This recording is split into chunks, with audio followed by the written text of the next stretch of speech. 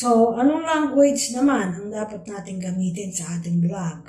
So, ako, dahil uh, ang gusto ko talaga ay international audience, syempre kung English ang language ko, marami talagang makakaintindi. Kaya lang ang pagkakamali ko, dito sa lugar na ay napakaraming expatriate from different uh, countries na iba-ibang language. Mostly, sila hindi talaga nakakaintindi ng English. Pero, one thing, lahat kami nagkakaintindihan sa Arabic language. So, dapat pala, kung hindi ko man maisalin sa sa Arabic yung aking language, dapat mayroon akong subtitle na Arabic. At yun ang wala ako. Hindi ko agad na pag-aralan. So, napakahalaga na naiintindihan ng mga audience mo yung iyong language. Kung international, dapat English. Then, put some subtitle. Pag-usapan na naman natin yung thumbnail. Ano ba ang thumbnail? Ang thumbnail ay yung title with picture. Parang sa comics. May title tapos merong front picture. Okay? Uh, sa aking mga video, maayos naman yung thumbnail ko. Kaya lang, ang kulang talaga doon ay yung excitement at saka yung emotion na dapat ay strong. Para pag nakita ng mga tao yung video mo sa YouTube, dahil sa strong emotion nito, it's either sexy, or it's either funny, or it's either amazing.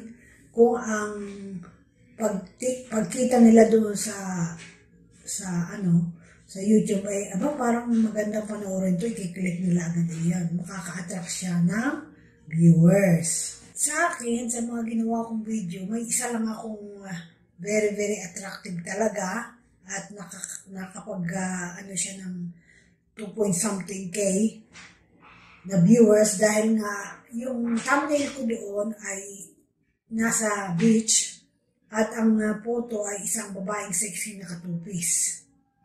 Ayan, Luxury Beach, uh, Luxury Beach Resort Hotel. Yun, napakaraming viewers ko noon dahil nga sa ganda ng thumbnail ko. Pero sa totoo lang, yung babaeng nilagay ko sa thumbnail, eh wala doon sa video ko. At walang babaeng nakatupis doon sa aking actual video. Hindi nyo ba napapansin sa Facebook? Maraming nagpo-post doon ng video sa Facebook na ang thumbnail nila, grabe ang laki-laki ng isda, pero pag kinilik mo yung video, ang liit pala ng isda na uh, makikita mo si Batista. Tapos iba pala ang... Kasi ganun nga ang strategy. Maggagawa ka ng, magkikreate ka ng isang napakaganda at um, attractive na, na thumbnail para yung mga tao mag-click. Kahit hindi naman, actually, pang, pang dideceive yun, di ba? Para lang sila ma-attract na i-click yun, ipapakita nila yung something interesting, exciting, or amazing. Tapos pag-click mo, hindi pala naman ganun kaganda at hindi pala yung artista mo yun ang naroon. So yun ang thumbnail. Yan ang pag-attract ng viewers. Kailangan maging maganda ang title.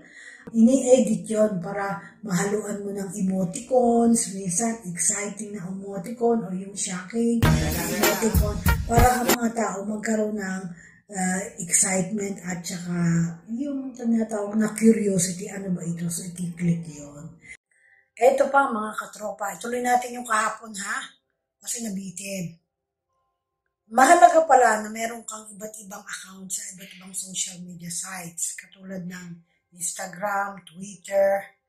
Although, actually, uh, nag-try din ako mag-download sa Twitter pero napaka-easy lang ng video na allowed nilang i-upload. Kahit sa Instagram. Kaya lang, pwede mo pa rin pag-aralan at hindi ko pa nga napag-aralan mabuti. Paano makakapag-upload ng mga video na longer videos than they normally allowed. Pwede yung research. Ako kasi, I don't have much time para mag-research ng mag-research ang ganyan. Kaya ganoon, hindi ko na-upload. So, mag-create ka ng maraming account sa maraming social media sites. Tapos, pag may mga followers ka na, mag-post ka ng picture o kaya maiksing video, and then ma-realize nila na meron ka palang channel sa YouTube at uh, maaari nilang panoorin yun. Okay, pag-usapan naman natin yung tungkol sa shooting. Ano shooting? Maraming Pilipino ang napansin ko ha. Hanggang ngayon, hindi pa marunong mag-shoot ng uh, ng video. Kasi naka-vertical ang kanilang uh, mga video. At pag lumabas na sa YouTube, hindi full screen. vertical ang pag-shoot nila ng kanilang mga video. Noong una, nagkamali rin ako, pero agad-agad natutunan ko kung paano. Kasi tayo, hindi tayo, kalimitan sa mga Pinoy vloggers, gumagamit lang ng Android or iPhone.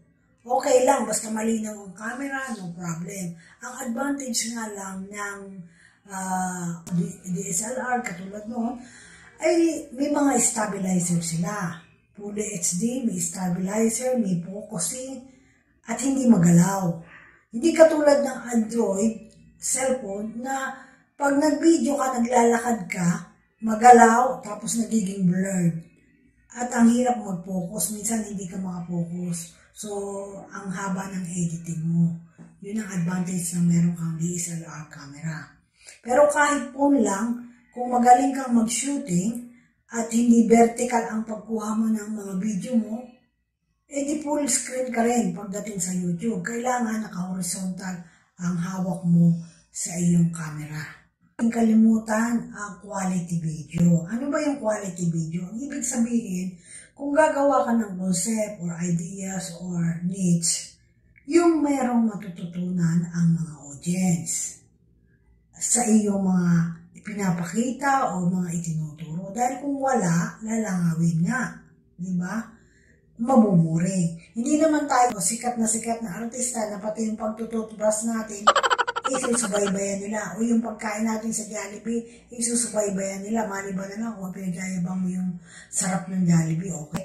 Quality video para ma maraming tao na ay isusubscribe ko to so ang dami pala akong masustansyang matututunan sa video niya.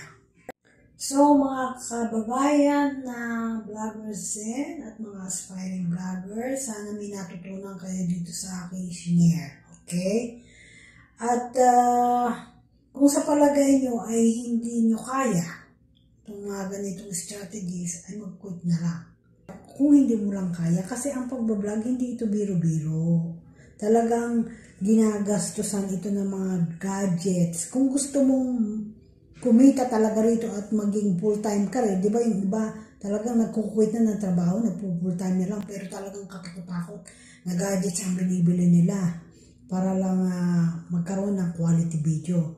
At hindi lang yun, effort, time, minsan magkakanda puyat-puyat ka sa pag-edit, tapos dapat lagi kang may fresh idea, hindi pwedeng kopya lang ng kopya ng idea sa iba. Maraming vlogger, dalawa ang ginawa ko ng mga kopya ng kopya. Pero, wala kang uniqueness. At saka malamang hindi na rin sila mag-subscribe kung makikita nila puro kopya lang. Dapat meron kang fresh idea, unique na talagang galing sa iyo, proven yung mga technique mo, para masabi nila na magaling tao ito sa.